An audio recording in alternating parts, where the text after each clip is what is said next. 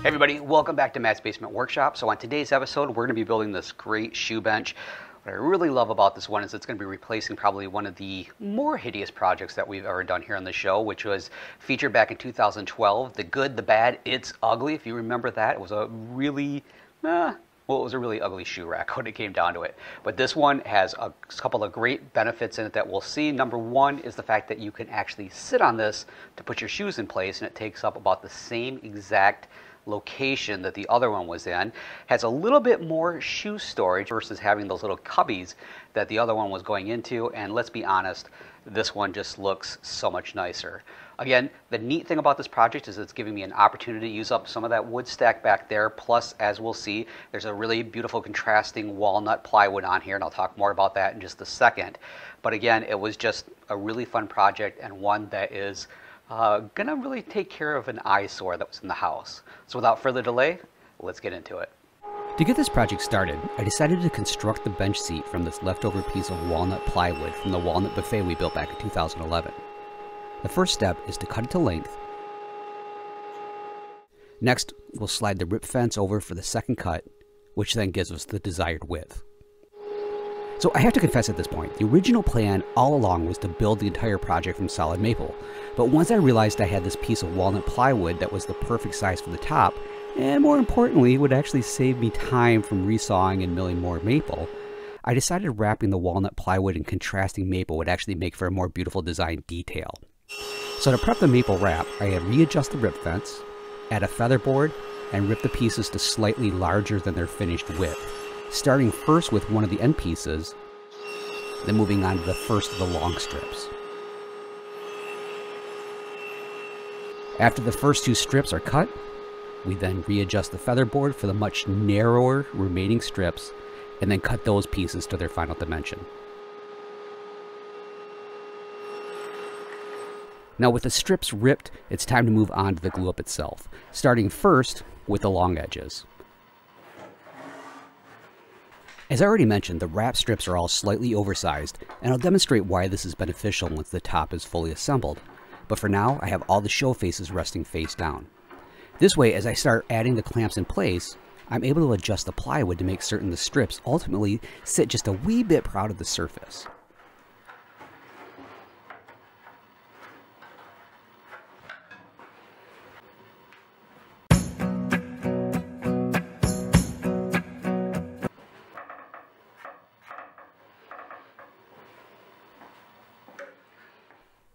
With the long strips in place, we'll cut to length and then attach the end strips, starting first by adding glue directly to the strips, trying to keep as even a coating as possible to avoid too much squeeze out.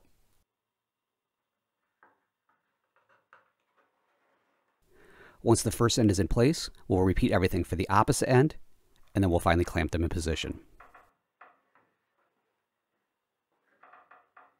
Now that everything is dry and the clamps are removed, I cut the long strips to length and then I turn my attention to bringing them all down to the same plane as the walnut. This step involves using my block plane, which I hold on a slight skew for easier control, and then quickly remove all that excess material, stopping frequently to feel and kind of look at that mating edge. And as we get closer, I switch back and forth between the block plane and a card scraper to help dial in that final dimension until I can feel it's right where it needs to be. Now once that's all done, I'll eventually sand everything smooth and blend away all the blemishes. The next component to build for the shoe bench are these crossed legs, and to do this I opted for one of my least favorite joinery techniques, the half lap.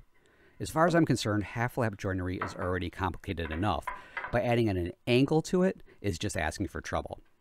So in hindsight, there are far more accurate ways to achieve repeatable results for this joinery, but for this project, we set our miter gauge to the correct angle, Draw reference lines in the throat plate to define the outer cutting edges of the stacked dado.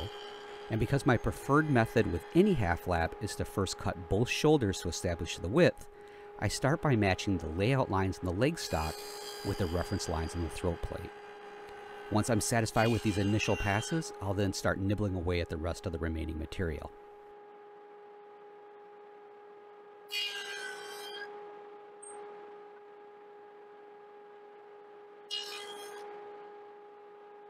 Now before moving on to the next leg, I need to check the fit. And in this situation, it's still just a pinch too tight. So it's back over to the dado stack for a very careful extra pass to widen the gap.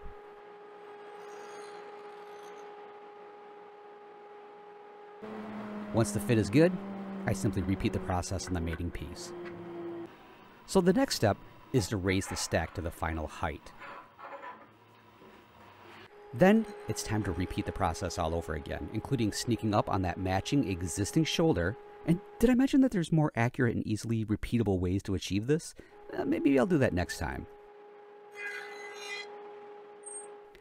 But, you know, even while attempting to sneak up on the final cut, there's still just a little bit of play in this joint, but you know what? It's more than acceptable. And when placing the matching pair on top of each other, well, they're dead on. I deliberately left these leg blanks a little long with the intention of cutting them to the final length after the half lap was glued and assembled.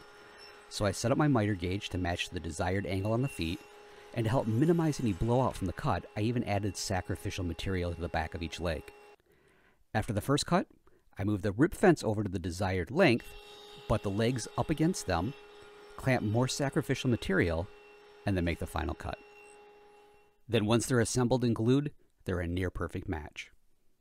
To attach the slotted shelves to the legs, we're going to need side supports. So I begin by cutting them to the rough length with my carcass saw and a bench hook. Then using a marking gauge, I scratch a reference line on both sides of the support stock to represent the desired thickness and then highlight it with a pencil. To make quick work of hogging away the material, I use my surface vise to hold the stock in place while using my scrub plane. Now it only takes a few passes before I grab my low angle plane to clean up the surface and then bring it down to the final desired dimension. So with all the supports prepped, it's time to cut them to their final length, which we'll do at the table saw.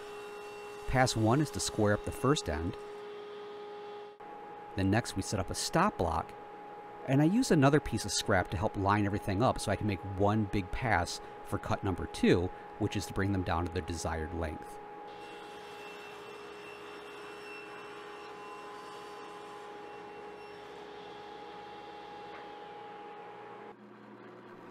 The final step for these supports is to pre-drill the screw hole and countersink for attaching them to the legs, which is made even easier over at the drill press with a reference fence and a stop block.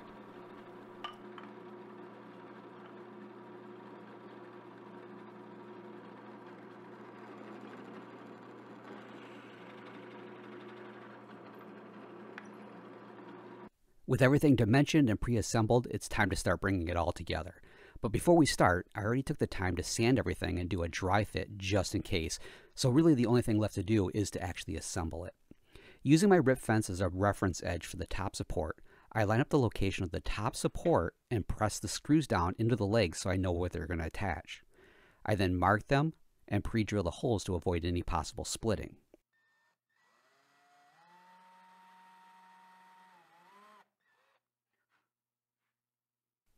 Then the only thing left to do is to drive the screws home and attach the support in place.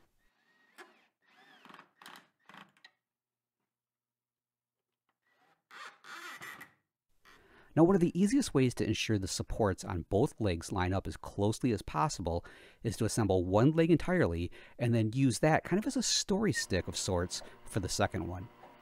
Again, lining everything up, I then mark them, pre-drilling, and then eventually driving the screws home and repeat all over for each of the supports. Now to attach the legs at the top, I flip it over, and then I use a square to inset them to the desired dimension. Once it's in place, I use a clamp to hold it in position while I drive the screws in place. At this point, the only thing left to do is to attach the slats for the shelves, and because I always anticipate I'm going to mess up some important dimension, I opted to wait to cut the slats until I knew for certain the length I'd be needing for them. So once the legs were in position, I measured the length and then set up the table saw for a couple more cuts. Again, the first one to square one end, and the second to cut the final length. To attach the supports themselves, I simply fired up my brad nailer and attached them, and here's the final look. All right, folks, and that's all there is to building this shoe bench. Probably the most nerve wracking thing, the one I struggled with for certain the most, and I emphasize this throughout the whole process, was doing these angled half laps. Half laps in general, just not a big fan of it. I know I mentioned that several times already. Uh, this helped to kind of reinforce it, but at the same time, it's, gave me, it's given me a lot more confidence in what I can do the next time if I ever have to incorporate one into my project. Huge advantage of this, number one is the fact that we're getting rid of that eyesore, but number two is the fact that you can actually sit on this while you're putting your shoes on, which as I get older, um, I really appreciate being able to do that. But because I have never really built too many things that you actually have to sit on.